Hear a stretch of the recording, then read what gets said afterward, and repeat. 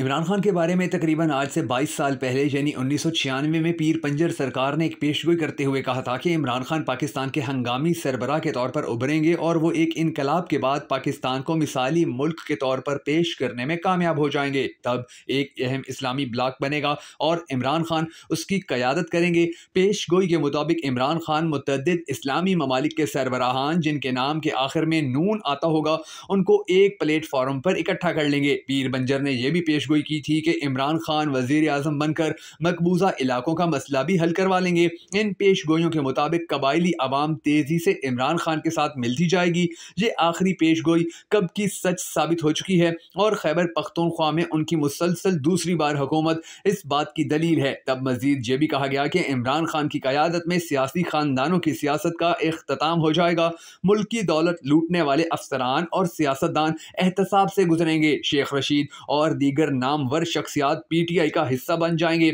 जो आज सच साबित हो चुका है। मगर सबसे अहम सवाल ये है कि आखिर किस तरह इमरान खान मुख्तलिफ़ सियासी ख़ानदानों की सियासत को ख़त्म करेंगे और इसके अलावा अफसरान और सियासतदान के जो मुल्क लूटते रहे, उन्हें किस तरह उनके अंजाम तक पहुँचाएँगे? ये एक ऐसी पेश गोई है कि जिसकी पूरी होने की दुआ पूरी पाकिस्तानी कौम तो करती ही है। मगर इमरान खान ने भी हमेशा कोशिश की कि पाकिस्तान के इन लुटेरों को इनके कैफर किरदार तक पहुँचाया जाए। हम सबको दुआ करनी है कि अल्लाह तबारक वाली इमरान खान को इस नेक मिशन में कामयाब फरमाए। अगर आप भी इस दुआ में शामिल होना चाहें और आपकी भी ये ख्वाहिश है कि पाकिस्तान को लूटने वाले किरदार अपने भयानक तरीन अंजाम तक पहुँचे तो कमेंट सेक्शन में आमीन ज़रूर लिख दीजिएगा, क्योंकि सिर्फ़ इमरान खान पाकिस्तान को अकेला ठीक नहीं कर सकता। हम सबकी ज़िम्मेदारी है कि हम इमरान खान के साथ खड़े हों। आज की इस वीडियो के अंदर मैं आपको बताऊँगा कि इमरान खान के बारे में और भी बहुत सारी पेश की गई थी, जो वक्त के साथ साथ सच साबित होती गई और उन पेश गोइयों के बाद इमरान खान के अंदर एतमाद भी ज़्यादा आने लगा था। मैं हूँ शकील हैदर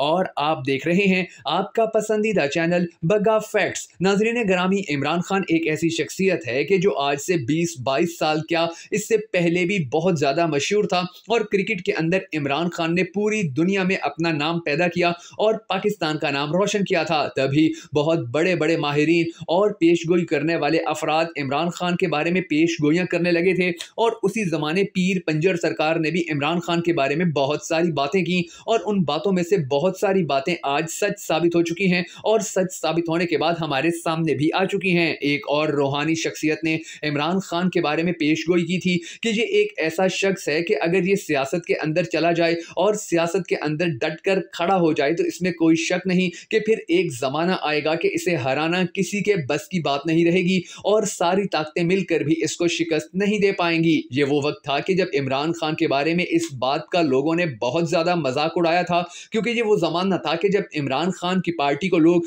टांगा पार्टी कहा करते थे और उनमें शेख रशीद सबसे ज़्यादा आगे थे। लेकिन वक्त ने साबित कर दिया कि इमरान खान के बारे में जो जो पेश गोई होती गई, वो सच साबित होती गई। आज इमरान खान ने उन तमाम ख़ानदानों को तिगनी का नाच नचा कर रखा हुआ है कि जो पाकिस्तान को लूटते रहे और उन शख्सियात को भी इमरान खान ने रुला कर रख दिया है कि पाकिस्तान के अंदर इमरान खान की हुकूमत ख़त्म करके करप्ट लोगों को पाकिस्तान का हुक्मरान बनाने में मुलविस थे। इसके अलावा इमरान खान के बारे में जो पेश गोई की गई, वो वक्त के साथ साथ सच साबित होती गई। एक और बहुत बड़ी शख्सियत ने इमरान खान के बारे में कहा था कि इसका घर तो आबाद नहीं हो पाएगा, मगर ये पाकिस्तान जैसे मुल्क को आबाद ज़रूर करने में कामयाब हो जाएगा। एक और रूहानी पेशवा ने इमरान खान का हाथ देखते हुए कहा था कि इसकी ज़िंदगी मुश्किल से भरी हुई है, मगर उसके बावजूद भी ये तमाम तर मुश्किल को न सिर्फ़ आसानी से क्रॉस कर जाएगा, बल्कि तमाम तर मुश्किल को समेटते हुए ये अपने लिए कामयाबी के रास्ते भी खुद ब खुद बनाता चला जाएगा। आज आप देख लें कि इमरान खान ने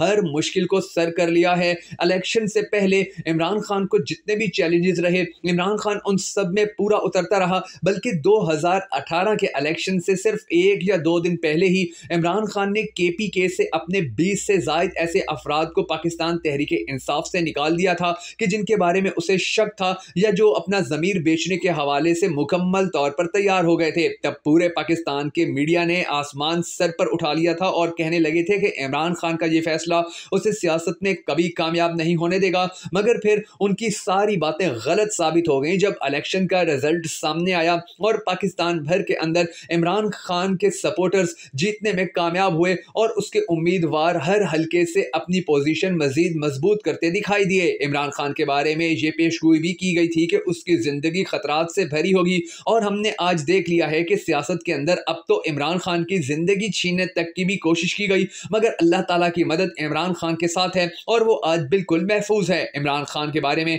जितनी पेश गोइयाँ हुई, वो सब सच तो साबित हो रही हैं, मगर एक पेश गोई ऐसी है कि जिसको सच करने के पाकिस्तानी कौम को भी इमरान खान के साथ खड़ा होना होगा। और वो पेश गोई ये है कि इमरान खान पाकिस्तान के अंदर इस्लामी तर्ज का निज़ाम लेकर आएगा और इसके लिए हो सकता है कि वो इस्लामी सदारती निज़ाम भी मुतारफ़ करवा दे। अगर वो ऐसा करेगा तो उसको पाकिस्तानी कौम की मदद की सबसे ज़्यादा ज़रूरत होगी, क्योंकि जब वो ये निज़ाम लाने की कोशिश करेगा तो जितनी भी सियासी पार्टियाँ और बड़ी बड़ी ताकतों समेत माफियाज हैं, उनको तो वो कंट्रोल कर लेगा। मगर जब आवाम से ये सवाल किया जाएगा या आवाम से रेफरेंडम लेने की कोशिश की जाएगी कि क्या आवाम हकीकी तौर पर इमरान खान के साथ खड़ी है या नहीं खड़ी, और क्या पाकिस्तान की आवाम सदारती निज़ाम चाहती है या नहीं चाहती है तो उसके अंदर फिर फैसला कौम ने करना होगा। और अगर कौम ने एक बार ये फैसला कर लिया कि वो इमरान खान के साथ खड़े हैं, पाकिस्तान के अंदर इस्लामी सदारती निज़ाम लाने के हामी हैं तो फिर यकीन जानिए कि पाकिस्तान को दुनिया की कोई भी ताकत तरक्की याफ्ता मुल्क बनने से नहीं रोक सकेगी। और ना ही इमरान खान को पाकिस्तान का नया सदारती निज़ाम लाने से कोई चीज़ रोक पाएगी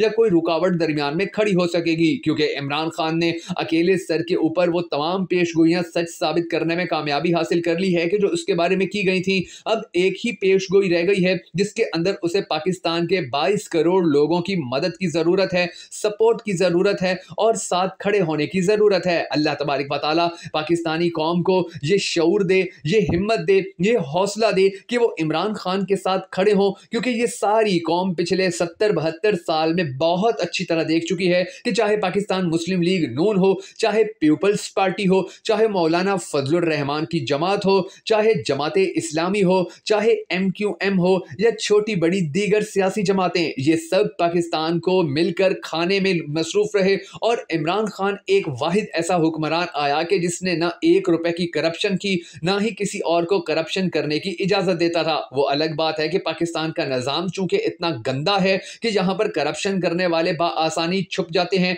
बासानी खुद को बचाने में कामयाब हो जाते हैं। तो इमरान खान अपनी इस कोशिश के अंदर थोड़ा सा नाकाम ज़रूर रहा, मगर इसमें भी उसका कसूर नहीं था, क्योंकि वो एक शख्स हर जगह से हर बुराई को ख़त्म नहीं कर सकता, बल्कि कौम का उसके साथ खड़ा होना बड़ा ज़रूरी है, उसके ईमानदार साथियों का उसके साथ मिलकर काम करना बड़ा ज़रूरी है, और ये सब चीज़ें अब आने वाले वक्त के लिए मज़ीद ज़्यादा भी अहम होती चली जा रही हैं। अब कौम ने ये फैसला करना है कि इमरान खान के बारे में जो पेश गोइयाँ की गई थी, उसने वो सब तो पूरी कर ली हैं, मगर इमरान खान के बारे में जो कौम के साथ मिलकर पेश गोई की गई थी अब उसे कब पूरा किया जाता है? कब कौम इमरान खान के साथ खड़ी होकर पाकिस्तान के अंदर हकीकी सदारती इस्लामी निज़ाम लाने की हामी भरती है और उसके बाद पाकिस्तान की तकदीर तब्दील होती है?